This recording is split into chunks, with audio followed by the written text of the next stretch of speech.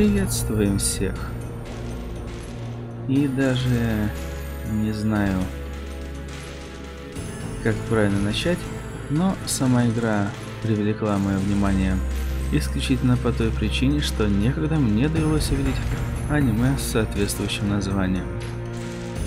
Но, как утверждают авторы игры, а их всего двое, данная игра представляет собой альтернативное развитие событий на основе предыстории данной в аниме. Правда, игра получилась достаточно специфичной. В частности, здесь весьма своеобразное управление, которое реагирует на команды с некоторой паузой, из-за чего бывает несколько непросто сориентироваться момент пусть и весьма неспешного, опять же, в силу специфики игры, но таки боя. Ладно, в любом случае, пора бы начинать, разве что отмечу, что в того, что непосредственно в игре, насколько помню, практически не говорят, пожалуй, сам буду по большей части молчать. Ну и, пожалуй, все же приступим.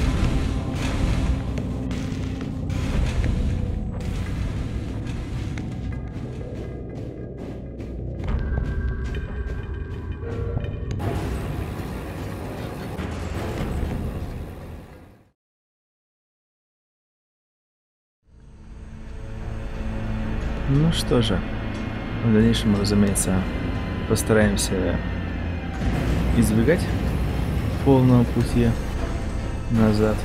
Но сугубо с моей точки зрения это в определенной степени добавляет атмосферы, когда мы возвращаемся мимо тел поверженных врагов и мимо очень редких спасенных. Но, так или иначе, на этом пока что все.